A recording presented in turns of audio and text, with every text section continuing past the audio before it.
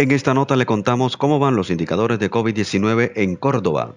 Montería con 14.663, Cereté con 2.087 y Lorica con 1.227, son algunos de los municipios más afectados en el departamento. En las últimas horas se confirmaron 74 nuevos contagios de coronavirus. Por otro lado, la Secretaría de Salud confirmó que 1.695 son los fallecimientos. La cifra favorable corre por cuenta de las 23.654 personas recuperadas del virus en Córdoba, dejando 593 contagios activos.